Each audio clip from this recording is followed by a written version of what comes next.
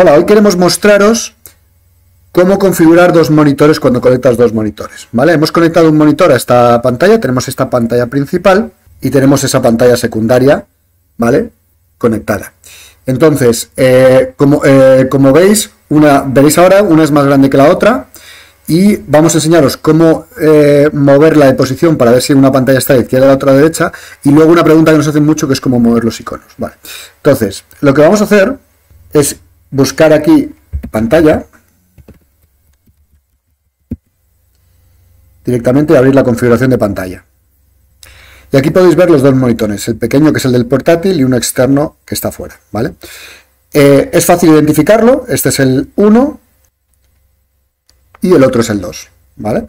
Si queremos moverlos a la izquierda o a la derecha, porque hayamos puesto, por ejemplo, el monitor grande en vez de a la derecha a la izquierda, solamente tenemos que hacer esto y ya lo tenemos físicamente como lo tenemos.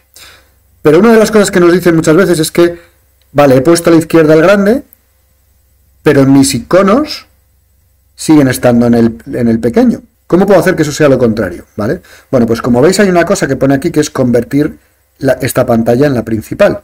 Selecciono la pantalla que quiero y le pincho a convertir esta pantalla en la principal. Si veis ahora, esta, segunda, esta grande tiene todos los iconos y la pequeña del portátil ya no los tiene.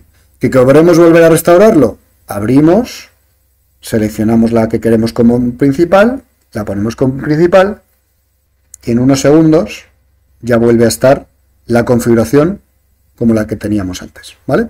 Y no tiene mucho más, solo que en cada una de ellas podemos cambiar la escala, la configuración de gráficos, etcétera, ¿vale? Y que recordar, esto sí que es importante, Podemos aquí cambiar la configuración de cómo lo queremos. Si extender, que suele ser lo recomendable en dos, es decir, que yo pueda mover, eh, mover las cosas a la segunda pantalla y dejar unas cosas en una y otra cosa en otra, mostrar una, mostrar otra, o duplicarlo, que significa mostrar lo mismo en las dos pantallas. Yo lo más lógico que entiendo es extender y así aprovechamos la longitud o, o la longitud en horizontal de ambas pantallas.